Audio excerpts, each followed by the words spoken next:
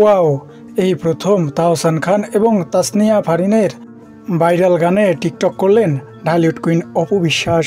অপু বিশ্বাসের এই ভিডিও এখন টিকটকে রীতিমতো ট্রেন্ডিংয়ে রয়েছে। তাছাড়া রঙে রঙে রঙিন হব শিরোনামে যে গানটি তাওসান খান এবং ফারিন গেয়েছেন, সেটি ইত্যাদি অনুষ্ঠানে প্রচারিত হয়।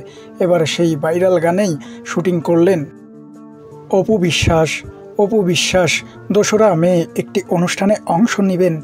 সেখানে পারফর্ম করবেন তিনি। এবার সেই গানটি বেছে নিয়েছেন পারফর্ম করার জন্য। তাই তো সেই গানে রীতিমতো রিহার্সাল করছেন তিনি। এবার দেখা গেল তার নৃত্যগুরুর সাথে তাকে টিকটক করতে। যা দেখে রীতিমতো অবাক হয়েছে ভক্তরা।